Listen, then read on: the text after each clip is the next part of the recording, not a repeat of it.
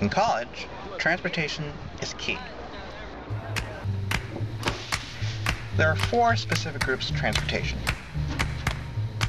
There are those who drive, take the bus, walk, and there are those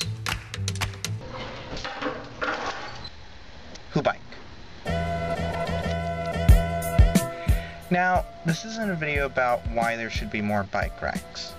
There are racks everywhere, by the library, near the cafeteria, at the gym, near the dorms and apartments, near this building, near that building, near this building, back here, behind here, between these two, over there, next to the horse.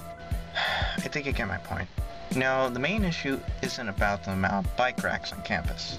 The problem is the overflow of unused, unclaimed, abandoned bikes that are overfilling the racks. I know this because I asked the question. How can you tell when a bike is abandoned? That's a good question. Um, Yeah, flat tire. It's unattended if, it's, if it has flat tires. And a flat. Yeah, I think this is uh, damage. These don't even have wheels. yeah, there's rust everywhere. Rusted chain. That's not supposed to happen. Um, okay, yeah. Uh, If it's missing any parts, it's definitely been abandoned. notice it here. And here. And here. Through this, I counted every bike on campus matching their description.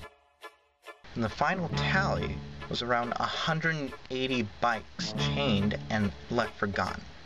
Because of this number, it causes other bikes to get locked up to unconditional places.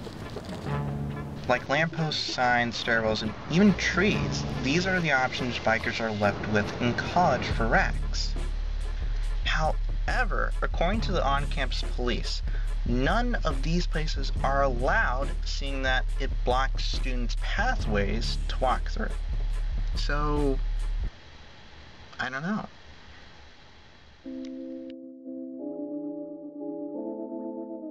For college students, bikes are essential for daily routines.